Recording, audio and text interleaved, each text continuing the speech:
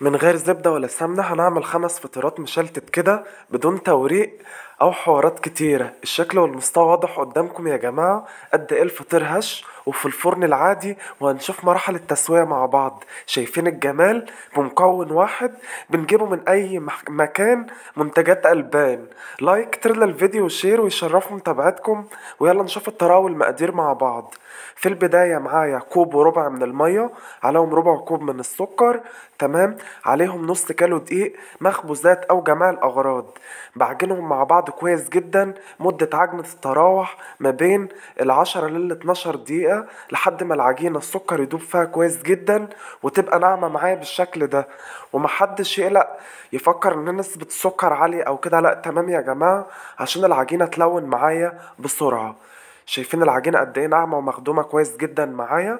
بعد كده هغلفها ببلاستيك راب وعايز أقول لكم ما أي تلزيق اطلاقا. وهسيبها تريح جنبي.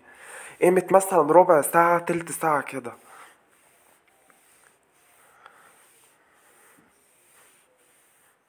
أو ممكن يا جماعة نحطها في بولة عادي ممسوحة بشوية زيت مش أكتر من كده.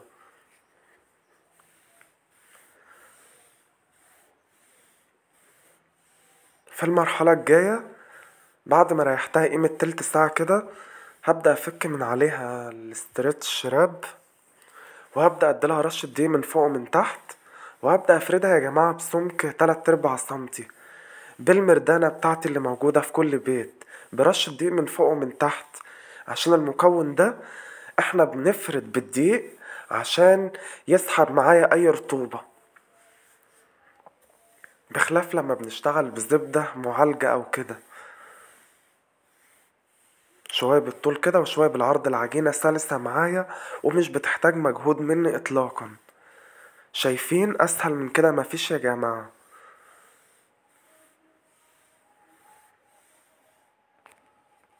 بعد ما فردتها كده يا جماعة هبدأ أشيل الدقيق معايا بعد كده يا جماعة قيمة كوباية من القشطة الفلاحي اللي بتتباع عند أي محل منتجات ألبان بميتها عادي سواء منها صفرة أو بيضة. أنا اشتغلت بالصفرة اللي هي البقري وما خضتهاش أو أي حاجة اشتغلت بقى على طول. اديت لها بس كده تليينة وببدأ كده أوزعها. بتبقى معايا اسبرد كده فوق العجينة. وبوزعها كويس جدا. كوباية بالظبط يا جماعة. كوباية مليانة.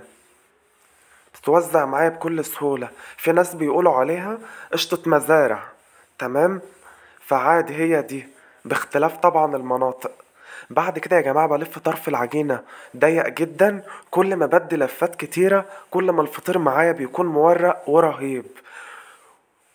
ببدأ كده ألف وأشد. بالراحة ما بشدش قوي يعني. بالشكل اللي أنتوا شايفينه قدامكم ده يا جماعة.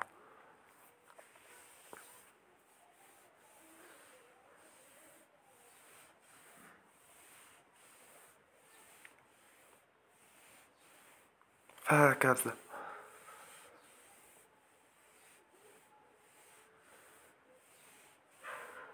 بعد كده هبدأ أفضي أي هوا وأقفل كده اللي حملت اللي تحت ده. وهبدأ أقطع على طول.